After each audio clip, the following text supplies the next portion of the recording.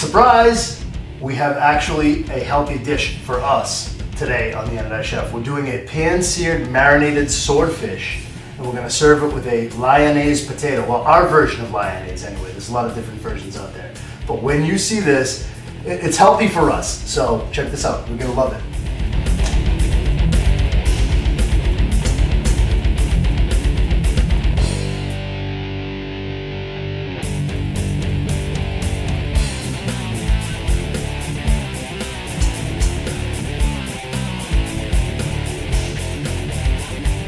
So what we're gonna do with the swordfish is, it's, it's, actually awesome. Let's talk a little bit about the swordfish first.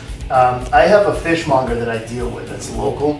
He goes into the, uh, the Boston Bayside Harbor every day. And he calls me, he tells me what's, he'll call me from his cell phone and say, Steve, I'm holding this, I'm holding that. Do you want any of this? Do you want any of that? And, um, and this stuff has never seen the freezer. So I would highly recommend, and, and, I do this all the time, and I do drive people crazy. When I go to the grocery store, if you're going to go to the grocery store to buy fish, ask the the, uh, the person behind the fish counter for a glove and grab the fish and smell it for yourself. I want you to test that fish and make sure make sure it doesn't have any funny smell. You should get the freshest product you can for your money, especially where nothing's really cheap anymore. So you want to try to get try to get a fresh piece of swordfish. It is hard to find, but um, well, what we're going to work with today is we're going to work with a beautiful fresh piece of swordfish. We're going to set up a marinade, and in that marinade, we're going to get started on that in a second. But uh, in that marinade, it's going to sit. It's a very high citrus content. So with the marinade, you don't want to. You don't need to let it sit for very long. Marinades as a whole are intended to infuse flavor. So uh, where this one's going to be so high in citric acid, if you leave it there overnight, it'll end up cooking.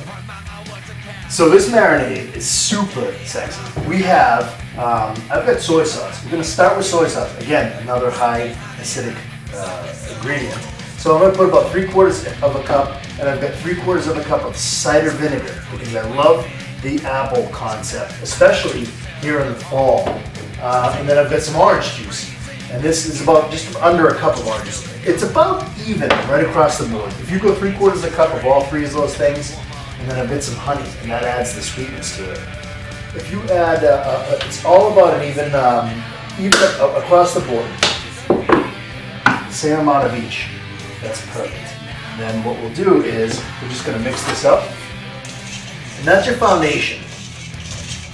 And get that honey to dissolve in those acids. So it's soy, apple cider vinegar, orange juice, and honey. And it's almost like a little bit of a teriyaki. But remember, you can't leave it in there for long. If you leave it in there for up to an hour, you're golden. Then let's take some edge. We'll kiss that with some edge right in there. And I've got one lemon. What we're gonna do is, again, high citrus. What we're going for here is a short marinade. So let's squeeze.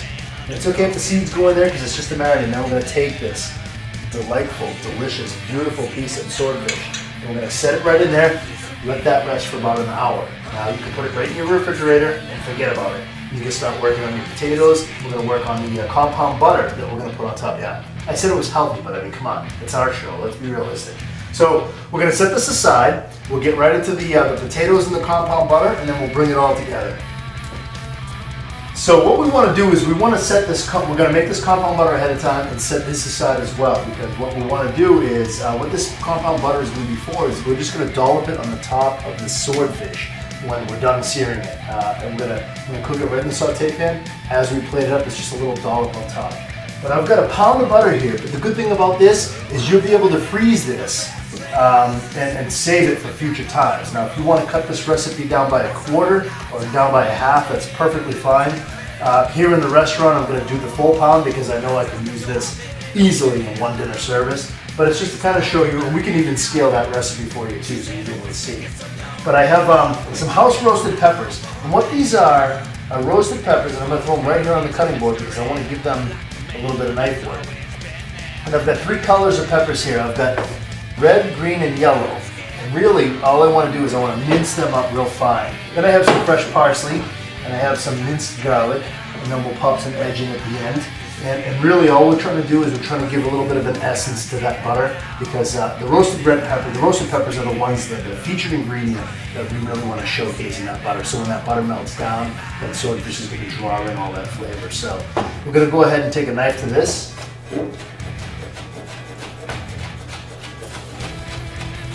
You can roast these, you can saute them in a pan if you want. You can roast them over an open flame, which is my method of choice. My guys here, what they'll do is they'll cut them into chunks and they'll either saute them over high heat or they'll hit them right over the open flame on the charred broiler. And usually when they saute them, they deglaze the pan with just a little bit of marsala wine. And what that does is it adds a little sweetness. It brings the sweetness out in the peppers. So I'm gonna I'm gonna chop this up real fine, like it, just as if you were chopping parsley.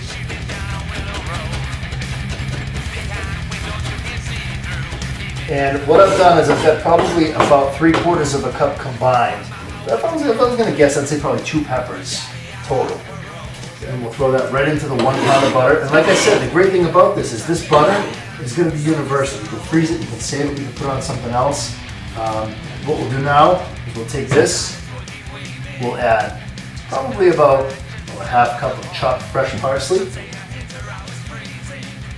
about two heaping teaspoons minced garlic, and then of course, a compound butter would not be complete without some sexy edge.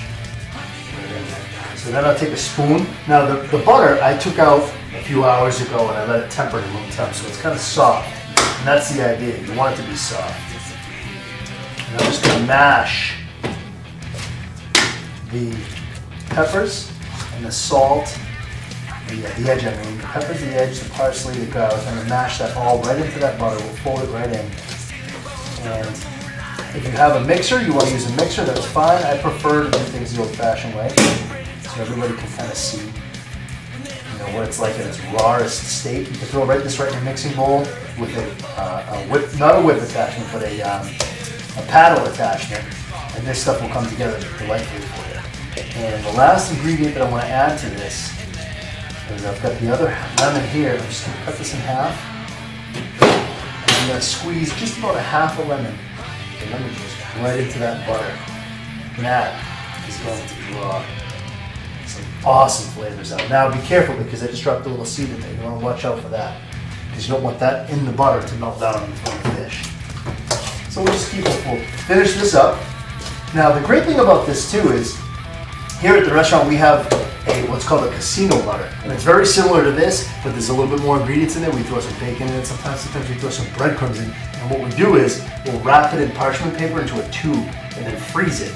And then what we'll do is we'll cut it into coin medallions and just set that coin on top of, say, like a, a scallops in a casserole dish, splash it with wine and bake it like that. And then what happens is the butter melts but the crumbs stay on top and it browns up nice. It's really great. So this is a that's traditionally one of the uh, ways, or clams casino, that sort of thing. That's one of the ways that um, that you can utilize a butter on seafood. All right, so that's our butter. I'm going to go ahead and set this aside, and we'll talk a little bit about lyonnaise potatoes. So when I was working at a hotel way back in the day, uh, one of the one of the side dishes that we prepared on a regular basis was what was called a lyonnaise potato. And really what a lyonnaise potato meant to me as a young line cook was a basic sauteed potato with chicken stock, uh, caramelized onions, garlic, fresh parsley, and salt, pepper. So uh, what we've done is we've actually brought in a. am uh, kind of trying to tie in a little bit of an anodized encore here, is take some leftover potato you might have in the in the, in the walk-in in the refrigerator in the uh, like say you, you you made a bunch of baked potatoes and somebody didn't want baked potato you end up having cooked potato in your fridge it's a great way to utilize something that you already have on hand or you can go ahead and just microwave a potato in the in the, uh, in the microwave or baked potatoes and just slice them up and, uh, and that's all we're to do. We're to take a fully cooked potato. You can do red potatoes, you can do white potatoes, it doesn't even matter. But you can just take the potato, even if it's uh, um, already peeled, that's fine too. We're going to leave the skin on because I think it adds a little dimension to it, adds a little texture and flavor. But we're just going to slice it. And I've got two potatoes here, which will be enough for three people, really. Good sized bakers. And you can see that they're fully cooked already, and that's perfectly fine, because all we're gonna do is we're gonna give them a quick saute and hit them with all those ingredients we talked about. So now I'm gonna grab my stove.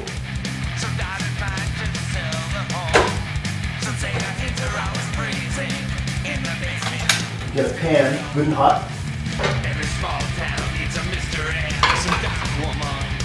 And one of the way, another way to do lyonnaise potatoes, one of the ways that I remember uh, vaguely in my mind is we would get the saute started and then we would finish them in the oven and let the potatoes brown up. And sometimes they would put like cheese on them. You could put some Asiago or Parmesan on them and just kind of melt the cheese down too. That would be more if it was more of a casserole side. But if we're, what we're going to do here is we're just going to saute with those ingredients. I've got some pre-caramelized onions and I've got some nice chicken stock here. And then I have our garlic parsley. And what I'm going to do first I'm just going to go wet the pan with some olive oil because I want to get the uh, get the potatoes starting to saute. Now, I've got the pre-caramelized onions ahead. If you have regular onions, you can slice them up. But Now's the time that you would throw them in there because you would want that to get the oil, give the oil that flavor. So let's go ahead and get right into this. And I'm gonna, so I added about, probably about three quarters of a cup of already caramelized onions, and that's really just so we can kind of speed up the process. You could do this from a raw state teaspoon of garlic, a little more than a teaspoon. Yeah, baby. There's no scent better than onions and garlic and oil sauteing. None. Maybe you can throw some of those peppers in there. All right, so what we want to do is, what we're trying to do is give this, these potatoes a little bit of a sear. Give them a little bit of a pan sear. You can really see them starting to burn up and you know brown up a little bit on the sides and get some of that oil on them. So uh, you don't really want to break them up too much, but saute them as best you can. And we'll give them a flip and a toss, and then we'll finish them with some chicken stock and be perfect. Go ahead and throw a couple of good heavy pinches of parsley on there.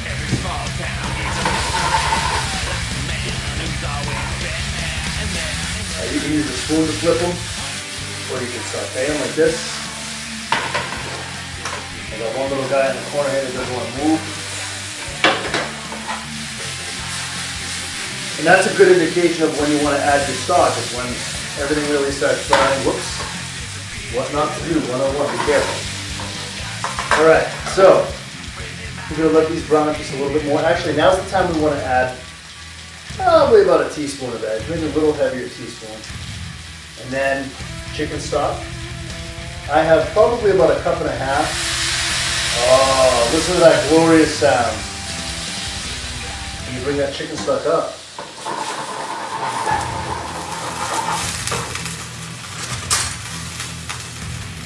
Yeah. And this flavor profile, how can you not taste this? Oh my goodness. See, the great thing about the, um, you almost get that oven taste from the baked potatoes, having them pre-cooked, you almost get that oven taste out of it too. It's really another nice phenomenal touch. But again, it's a great way to utilize leftovers. Go through your fridge, you got some cooked potatoes that you gotta use up, it's perfect. You don't just have to make home fries out of it. And then I've got, yes, I know, Got a little bit of butter. Just gonna add in there, just to kind of bring it all down. And so we'll let that butter melt right in that chicken stock. As these guys roll, wow, look how nice these things look. Oh, they're one of my favorite kinds of potatoes. We used to do these whole the, at the hotel. We'd roast them whole and then cut them with a knife after they came out of the oven in roasting pans. Same ingredients, just did it in the oven because we were doing it for 100 people. We didn't have a saute pan big enough. But um, oh, one of my favorites. Just Absolutely delicious. And they used to go crazy for it. And this is in a nice fine dining place too.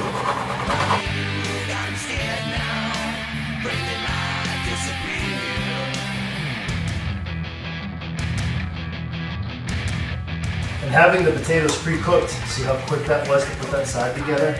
So actually I'm just gonna set the pan right on this plate over here. And I'm gonna leave the burner going. We're gonna start to sear the swordfish and wrap things up. Check this out. So we've got our pan preheated for the swordfish. We're also going to give it another kiss of olive oil. just to line the bottom of the pan.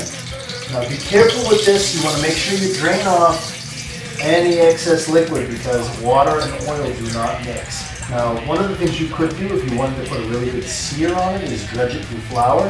I think the natural um, natural reaction to the, because it, where swordfish is so dense, I think that it's going to give us a nice sear by itself.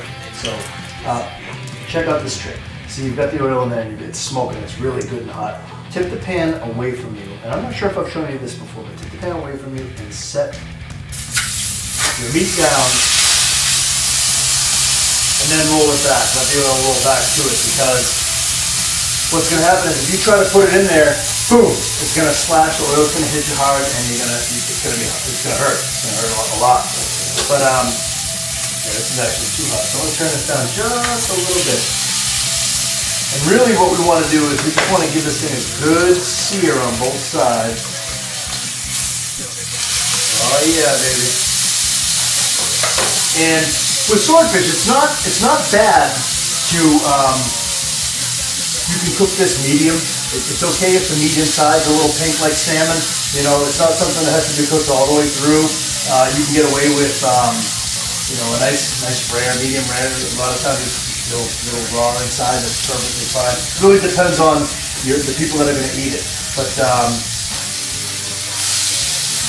I prefer it cooked all the way. So what you can do is if you don't, if you're afraid that you're gonna overcook it because the pan's too hot and it's really starting to burn, you can sear it on both sides. You take this pan like this and pop it right into the oven. That's perfectly acceptable. You can get away with that with no problem. Um, and let that cook for about 15 minutes at 350 degrees. It'll be cooked all the way through. Or you can serve it, you know, almost sushi style. Just sear the two, the two sides and put the butter on the top and let it melt down, have it still be pretty rare inside. And that's perfectly acceptable as well. So it's really all a preference thing and what you want. But uh, look at the colors on that ball. Are you getting that in a shot? I don't want to handle it too much because I don't want it to break on me.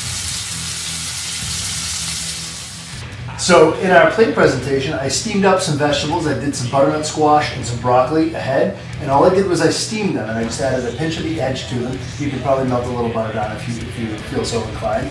I've got a lyonnaise potatoes right on there and I drizzled a little bit of broth over the top and a nicely seared swordfish, which uh, the, the marinade actually helped to bring some of that real rich color out in there because we had the soy sauce and it was nice dark marinade and all those citrus flavors kind of permeated that meat and that olive that sat there. So Looks really, really good.